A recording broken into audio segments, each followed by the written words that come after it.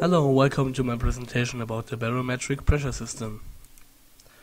The, as barometric pressure system you have the QNH, QNE, QFE and QFF. The QNH is the height between you and the sea level. The QNE is the height with barometer 1013.25 hectopascal and the QFE is the real height between you and the ground. The QFF is not important for aviation because it isn't used in any airplanes. Here I have an example picture of the QNE, QNH and QFE. You can see here the QNE is the height between you uh, with the setting 1013.2 hectopascal. The QNH is the height between you and the sea level and the QFE is the height between you and the earth surface, runway, whatever.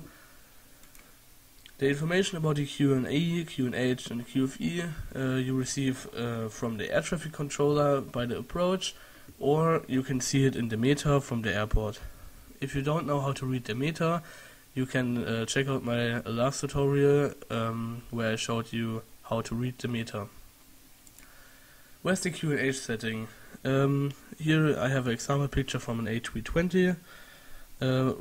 Uh, uh, on the right of this picture there uh, is the FCU, the autopilot panel, and left to it you have this part of the upper cockpit.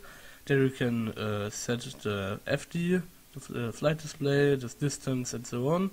And next to it you have the barometric setting.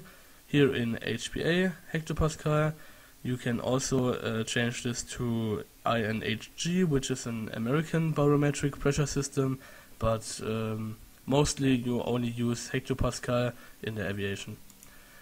Thanks for watching my little presentation, and I hope uh, all of you who don't know uh, know something about QNH, QFE, or QNE, uh, I had helped, and thanks for watching. Bye bye.